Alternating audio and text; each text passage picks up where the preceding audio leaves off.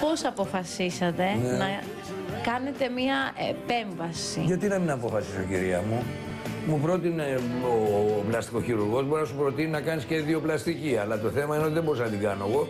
Έκανα επομένως την άλλη πλαστική εδώ πέρα. Έκανα, Τι κάνατε; ε, έκανα λέιζερ.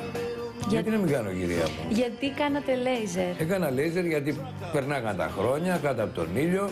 Η δερματάρα μου, δηλαδή εννοώ το δέρμα μου, είχε αρχίσει και έβγαζε μαυρίλες, μαυρίλες, μαυρίλες, μαυρίλες, μαυρίλες, μαυρίλες. Κάποια στιγμή το είδα, πήγε ο νους μου και σε τίποτα πονηρό, λέω μαυρίλες, μαυρίλες, μαυρίλες. Γιατί, δηλαδή αν ήμουν στο Λος Άντζελες και ήμουν κοκότα, δεν θα είχα κάνει τρία λέιζερ. Έτσι. Κάθισα από κάτω από το φως και μου τα έβγαλε όλα. Σιγά σιγά μου έβγαλε κάτι ελιές από εδώ μέσα. Ηλικία, ξέρετε. Δεν είμαι πολύ μεγάλος. Πόσο είστε; Είμαι 38, ε, 39 πάω το καλοκαίρι. Τέλεια. Αλλά κοιτάξτε, φαίνεται. Άμα κουράζεσαι πολύ και με τη δουλειά και τα λοιπά, φαίνεται. Και έτσι που λέτε πήγα κάτω από τα λέιζερ και μετά ε, του είπα, του λέω καλά, τα λέιζερ τα κάναμε, ας πούμε, τραυματιστήκαμε, αφήσαμε, έμεινα αξίριστος τόσες μέρες, ε, να μην κάνουμε και τίποτα άλλο. Μου λέει ποτοξάκι. Λέω ποτοξάκι, τι είναι, λέω το ποτόξ, μου λέει μη φοβάσαι, θα σου τεντώσω ρητίδες και τα λοιπά. Μα εγώ λέω είμαι χωρίς ρητίδες.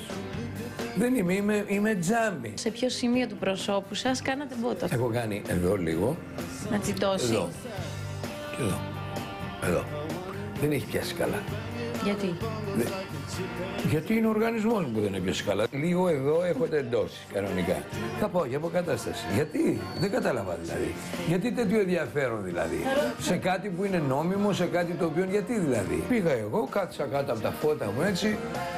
Είναι ο πόνος προς τα κάλλη, έτσι είναι, με πλάκωσαν με τις ενέσεις από εδώ από εκεί, εντάξει, μια χαρά.